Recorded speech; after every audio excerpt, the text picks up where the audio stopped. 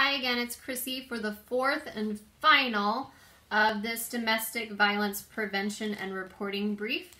Um, I mentioned a little bit earlier, please reach out to us for some of these additional resources on definitions and um, some areas that we can kind of spark conversation with the I Believe questionnaire. Um, that's something that we can provide to you. Just send us an email. We'll send that a PDF over to you. Um, the other thing that I want to draw attention to is the power and control wheel. Um, hopefully you've seen this before, but this is another handout that we can provide to you. It kind of talks about power and control, which um, accusers use to hold someone in their realm of uh, control. So they use their power and control through coercion, intimidation, emotional abuse, isolation. Again, those are definitions we all talked about under domestic abuse. Minimizing, denying, blaming, using their children against them, economic abuse, male privilege. Okay? Be female privilege as well, too. We don't want to make it seem like it's all against males. Physical violence and sexual violence are also used um, to power and control. So this is kind of what an unhealthy relationship looks like if you have these kind of things. So for example, minimizing, denying, and blaming, this happens in uh, this happens in relationships. Um, it happens in times of stress. So making light of the abuse and not taking his or her concerns about it seriously, saying the abuse didn't happen, um, shifting responsibility for the abusive behavior, and saying the person who is the victim caused the behavior. Like it's your fault, you were acting irresponsibly, so I had to punish you, something like that. Okay? So make sure that you, uh, and again, no relationship is perfect. So realize that if you have any of these um, characteristics in your relationship, this is an area for improvement. And the way that we fix problems when we see problems in our relationships is by saying, Hey, I noticed something that I would like to change. I noticed something in myself and I would like us to have a better relationship. So make sure that you know what a power and control relationship looks like. And then I like this handout as well because it shows a power and control wheel and then it shows what a healthy relationship looks like. So instead of um, economic abuse, where I use the fact that I'm a provider and I want to um, I want to use my power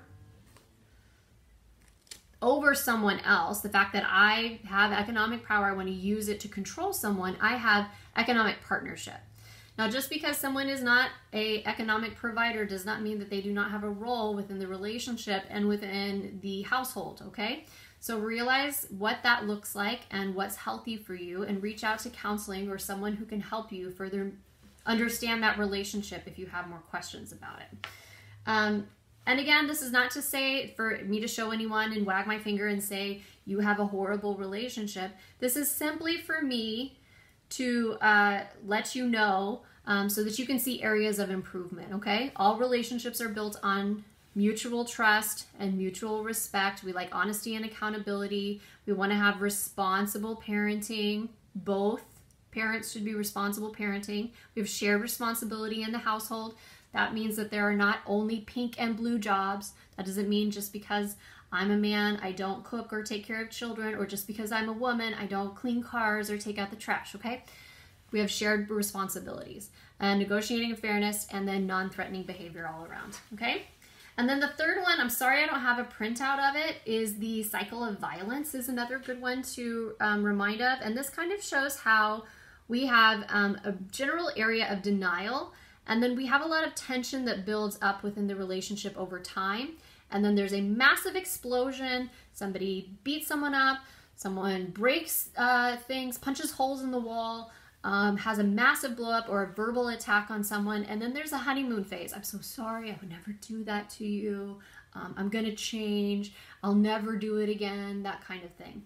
And this doesn't have a time specific um, lapse on it. So this could be a very, very, very long period, could even be years of tension, tension, tension, and then a massive explosion, and then years where everything is fantastic and wonderful and great.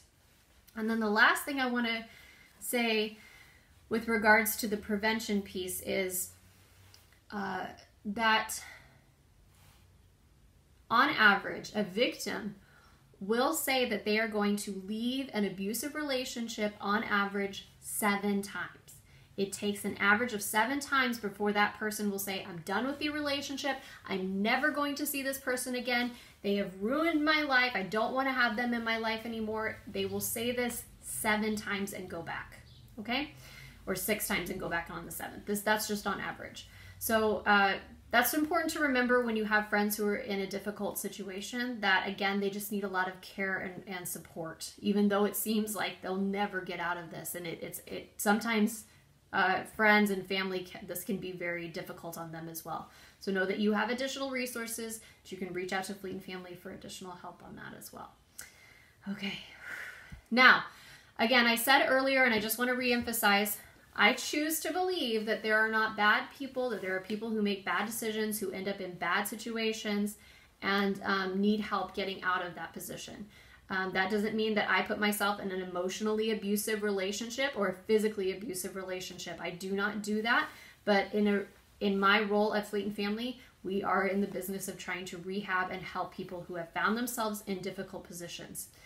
For example, if I grew up in a household where my father came home drunk regularly and slapped my mother around, and this was a normal part of my childhood, I might, when I'm under additional stress and in the pressure cooker that is the Navy, I have frequent moves, I'm changing my job regularly, I had some disciplinary action at work, I might fall back later on what has been a more innate, more natural behavior that I have witnessed and then become an accused abuser or an abuser themselves, okay?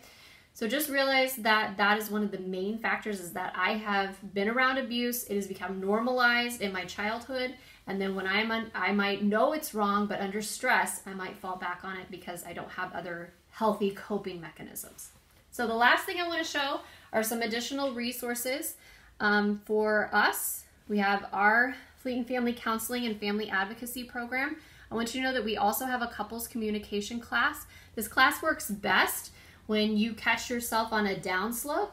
Um, it's not going to work. It's a two hour class. It's not a, a regularly scheduled class.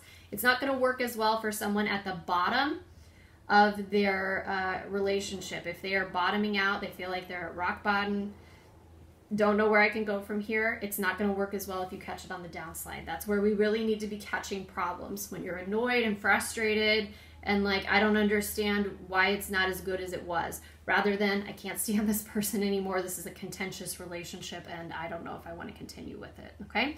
Catch them on the downslides on the roller coaster of life. It'll be a lot easier to go up on that upswing.